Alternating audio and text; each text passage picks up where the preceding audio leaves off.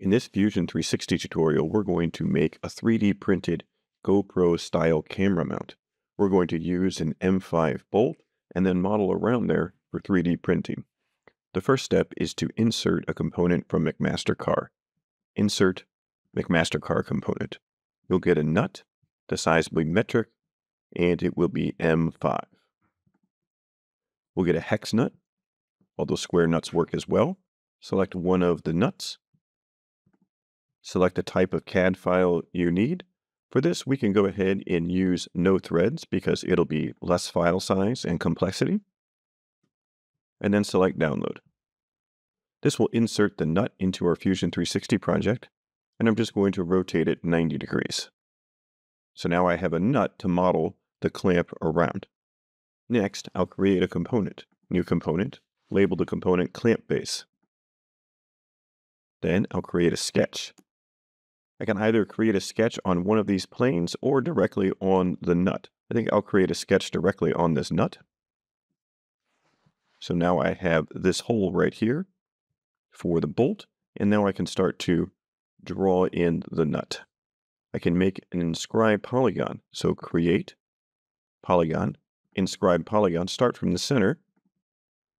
And then if I just get it close here, I can give it an offset. So first, I'll make this line vertical. Then I'll press D to give it a dimension so we have some space. Here we can give it 0.15. So it's 0.15 all around. You can adjust this so you have the right clearance to put a nut into your 3D print. And we also need to have a circle that goes around this. So I'll select here and I'll draw this circle. And I want to have a nice amount of space. So I'll draw 15. And then for the clamp to work, we need a place for this clip to go to. So I'll draw some lines down. I'll select the edge of the circle here, draw straight down, then straight across, then straight back up. Notice here that I did not make this coincident. I can fix that with the coincident constraint. And I'll make this vertical. And then we can make these tangent by clicking the tangent constraint. Type in 15 for the dimension here. So now we can extrude by pressing E, select this face and this face. The distance will be to object. We'll select the side of the nut and then press OK. So now we have the nut contained here, but we want to have something that the nut will press against. So we'll go ahead and extrude again. But to do that, we'll go ahead and create a sketch right here. So I'll create a sketch on this face. Then I'll press P, and I'll just project in the whole of the nut. So now I can press E, I can select all of these pieces, and I can go 3.1. So now the nut can't go through. And we have that piece right there. Next, I'll create an offset plane, and I'll have this plane go 3.25. That way we have some space in between the clamp. Then I'll create a sketch right on that offset plane, press P, and I'll just project that face in. Then I can extrude, select this face, type 3.1. Then I'll create one more offset plane. 3.25. And this makes this adjustable so I could change the spacing depending on what I wanted to do. Create a sketch right here. Press P, select this face. OK. Press E to extrude, and then 3.1. So now I have all the pieces for one side of the clamp. Let's add a base to the clamp. Create a sketch. Draw on the bottom of one of these. We'll get a rectangle. Dimension this 30 by 40. Use the vertical constraint, hold shift to get the midpoint. Put that over the origin. So now it's centered, but that won't work for here. We want it to be centered on this one. So I'll press P, project this shape in, select it, press X to make it a construction line, then draw a line from this midpoint to this midpoint select it, press X to make it a construction line, and then we can make it perpendicular with this edge. So now this base is centered on the clamp. You can adjust that for whatever you need. I'll finish the sketch. Press E to extrude. Make sure you select all the shapes, and I'm going to go down 4 millimeters. We could add holes or anything we need to attach this, but at least I'll add fillet of five millimeters. So besides adding some radiuses and chamfers on this, this side of the clamp is done. So I'll go up to the top level component and I'll create a new component called this clamp top. And we need to make the pieces that get compressed inside this part of the clamp. Let's create a sketch. I think I'll create a sketch right on this side right here. Then we can press P to project in. We want to get the circle and this top arc. Then press OK. So we're sketching right on this shape here. Then we can press C and draw a circle, and we know that circle was 15. And this time we're going to draw up. So I'll get my line tool, and I'll look at the sketch again. And from this point, straight up, straight over, and then down to this point. I'll make this line vertical and this line horizontal. Press D from the center of the clamp to the top. We'll make that 15 millimeters. So now we're ready to extrude. We can press E to extrude, select these two pieces, and we want to go 3.1. If you see here, straight from the left, there's a little bit of gap, so we can adjust that gap. It's 0.15, so we can make our offset, so we put this in the middle. At the start, it's the profile plane, but if I offset a bit, 0.15 divided by 2.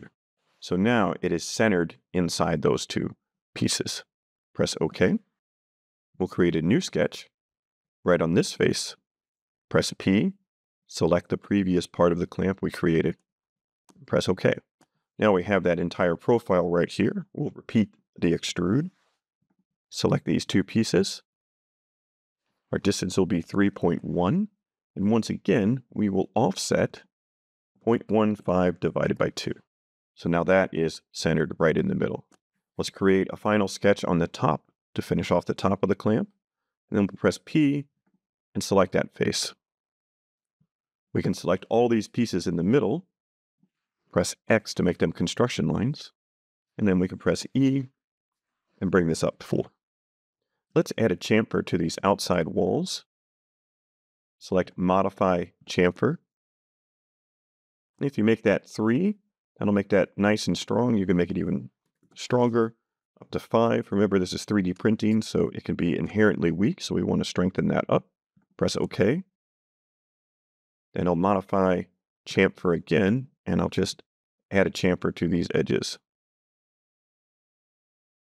So now that chamfer goes all the way around just to add a little bit more base. Hide the clamp base and the screw. If we go to our selection priority, select edge priority, select everything, fillet 0.5. That'll round off all the edges and press OK. So now this clamp section is done. Of course, you can add mounting holes or change the shape of the base however you want. I'll activate the clamp base, hide the clamp top, and we'll repeat the process of strengthening this. Modify chamfer, select this outside edge and this outside edge, type 5. Then modify chamfer. Let's get all of these base pieces. We'll type 1. OK. Make sure we have select, selection priority, select edge priority, select everything, fillet, 0.5. We'll go up to the top level component, select inspect, display component colors, and you can see now that our clamp is mostly complete. We can add a bolt and a piece that would glue onto the bolt so you can actually turn a handle. To do that, insert, McMaster-Carr component, screws and bolts, metric, M5, hex head screws. We'll need a length of at least 30. Select one of the objects, select 3D step, and in this case we also don't need threads, and then download. We can rotate this 90 degrees, but that's not entirely necessary because we're going to use a joint. Press OK. And as you can see how this is not lined up perfectly, but we can create a joint. If I select joint, and I select this face here, and then a face on the nut, it will join right there. Then I can push this forward, and it looks like we could get away with much less than 30 millimeters. So you can insert a different component, but this is just to line up this section here and to test our design. So I press OK. Now I can make one last component if I want to make a little handle that makes it easier to use this bolt. So I go ahead and create a new component, handle. Then I'll create a sketch and we'll go ahead and create that sketch right on the face of this bolt. Then create an inscribed polygon from the center. Make sure that the sides of the polygon are vertical, and then we can offset this. Remember, we want this to be nice and tight, the head of the bolt. So it's going to be from this edge right here. And if everything gets a little confusing, you can hide everything but the last piece. So this is definitely that edge. Press D to dimension this. We'll go 0.1 because we're going to try to glue that in so it's a nice handle. Then we'll press C and we'll draw 13 millimeter circle and press E. For this, we want to go to object because this is the part that's going to go around the bolt here. So distance to object. We'll just go to the other side of the bolt head. Press OK. And then do a revolve for the handle. So if I create a sketch and I draw right in the middle here, and since we're centered on the origin, we can do that. And I'll press P to project in that object. Then I'll draw a line right from the midpoint, and we'll go out some distance. Then up, I'll draw straight this way, taper in a bit, and then over to this point. So now I have a little bit of a taper. We can dimension these pieces. Let's make this one 10, so we have a nice grip for a thumb. Press D and select both these lines to give it an angle. I'll do 135. And then we'll give this D of 10. And the height from here to here, we will make 4. And this height, make 7. So now we have a nice profile for our handle. If I finish the sketch, select Revolve, for the profile, it'll be this profile automatically. And then for the axes, we'll select this axis. And now we have a nice handle that we can grab. Press OK. We want to fillet all of these edges. So first I'll grab the fillet tool, hide the bolt, select all the edges, fillet 0.5, and then OK. Bring everything back, select the top level component, and now you can see how we have all the pieces we need to make a GoPro style clamp. Hopefully this allows you to make 3D printed clamps in the shape and form that you need. This clamp is basically at the GoPro dimensions, but for 3D printing, we probably want to make this a little bit beefier and thicker so it is more robust. Happy 3D modeling!